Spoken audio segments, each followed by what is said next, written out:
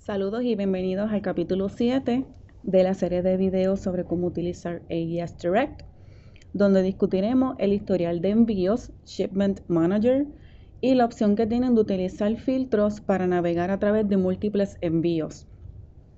Un dato importante del historial de envíos Shipment Manager es que automáticamente muestra los envíos realizados en los últimos 90 días o en los últimos 3 meses.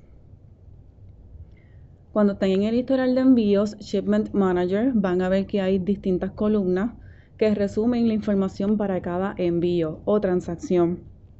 Primeramente van a ver la columna de el número de identificación del transmisor, Filer ID. Luego tienen el número de referencia del envío y el conteo, count, que muestra el historial de cada envío en específico. Luego tienen status, Ahí le va a aparecer el estado del envío, si está aceptado o rechazado, accepted, rejected. Última acción, last action, cuál fue la última acción que se realizó con el envío. Número de confirmación ITN. Last updated, este le va a mostrar la fecha y la hora eh, cuando se realizó la última modificación o acción para el envío last updated by. Aquí les va a mostrar el nombre de usuario o el username de la persona que realizó la última acción para el envío. Y si seleccionan el username van a ver también que le provee el nombre de la persona o del usuario. Fecha de exportación. Luego tienen USPPI, número de identificación del USPPI y el consignatario final. Dependiendo de la configuración de la pantalla o el tamaño de la pantalla, pueden ver una última columna para Shipment Actions, acciones para el envío. Si no ven la columna, entonces van a ver un signo de más en color verde justo antes del Filer ID. Y desde allí van a poder seleccionar Shipment Actions, acciones para el envío. En el Shipment Manager también tienen la opción de utilizar filtros que le permitirá localizar envíos en base a ciertos criterios que pueden seleccionar. Para seleccionar esta opción, vamos a Show Filters.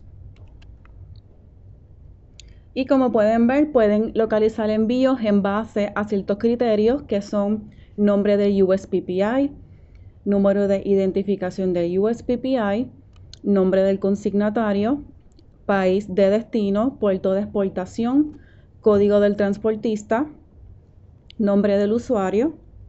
Y por último tenemos Filings Updated In. Aquí vamos a tener la opción de seleccionar un eh, periodo de tiempo de la lista, pero si quieren localizar un envío que es eh, que pasa los últimos tres meses o fue transmitido anteriormente, Pueden entonces utilizar la opción de Custom para hacer una búsqueda personalizada y escoger el rango de la fecha. Bien importante cuando vayan a escoger el rango de la fecha, deben de seleccionar 90 días al mismo tiempo. Si seleccionan más de 90 días o menos de 90 días, el sistema les dirá que no hubo resultados. Para efectos de este ejemplo, vamos a utilizar primero de enero del 2008. Como pueden ver, lo pueden escribir en el encasillado o lo pueden seleccionar de la opción del calendario. Y entonces utilizamos primero de marzo del 2018 para asegurarnos que es un periodo de 90 días. Una vez ingresemos la fecha, van a ver que los resultados de nuestra búsqueda se van a mostrar en la parte derecha de la pantalla y pueden confirmar eh, el rango de la fecha utilizando la columna de Last Updated. Y allí pueden ver eh, la hora y la fecha y entonces localizar el envío deseado. Esto concluye el capítulo número 7 de la serie de videos de AES Direct.